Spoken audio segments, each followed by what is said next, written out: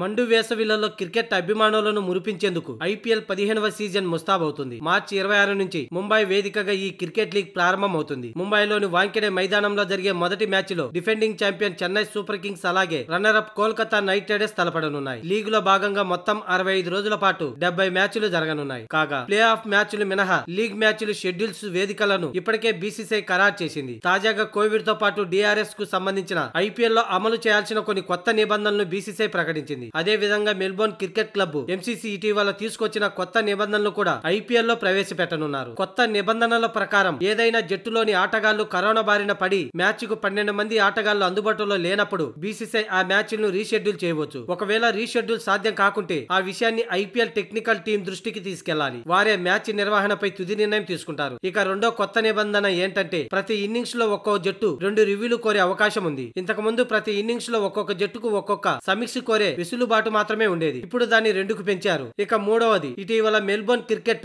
MCG తీసుకొచ్చిన కొత్త నిబంధనలు కూడా ఐపీఎల్లో అమలు చేయనున్నారు. ఎవరైనా బ్యాటర్ క్యాచ్ అవుట్ అయ్యే సందర్భాల్లో కిరీజులోకి వచ్చే ఆటగాడే స్ట్రైకింగ్ చేయాలన్న నిర్ణయాన్ని ఈ సీజన్లోనే అమలు చేయనున్నారు ఐపీఎల్ నిర్వాహకులు. ఇక ప్లే ఆఫ్స్ లేదా ఫైనల్ లాంటి కీలక మ్యాచ్లో ఏదైనా ఫలితం తేలకుండా టైగా మారితే నిర్ణీత సమయంలోనే సూపర్ ఓవర్ నిర్వహిస్తారు. అది కూడా కుదరని పక్షంలో లీగ్ స్టేజ్లో పాయింట్ల పట్టికలో టాప్లో ఉన్న జట్టునే విజేతగా ప్రకటిస్తారు.